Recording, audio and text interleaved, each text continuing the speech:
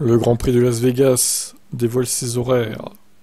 Très très compliqués les horaires pour nous, Européens. 5h30, 6h30 les essais, hein. autant vous dire que moi je vais dormir, hein, flemme. Par contre, je ferai un stream pour les essais de 9h à 10h ce vendredi. Practice 3, je saute aussi. Je zapperai. Et euh, les qualifs, euh, je regarderai. 9h, 10h, ça va. La course à 7h, par contre, c'est dommage qu'il ait pas mise à, 9h aussi, la course, du coup. Mais bon, c'est comme ça, va falloir faire avec. Donc on rappelle, hein, pour eux, ça sera le samedi. La course, ce sera à 22h le samedi. Et nous, ce sera à 7h du mat à cause du, dimanche, euh, à cause du décalage horaire. Tout simplement. Alors la météo. Eh bien, pas de pluie à prévoir, visiblement.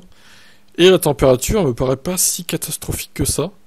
12 degrés euh, la nuit. Bon, euh, entre 10 et 12, ouais, bon, ça va, hein, ça sera pas 5 degrés non plus. Hein. Bon, par contre, ça aurait été le week-end d'après, euh, ça aurait été la caillante là, visiblement. Mais bon, là, ça va, ça reste une température fraîche, mais pas catastrophique.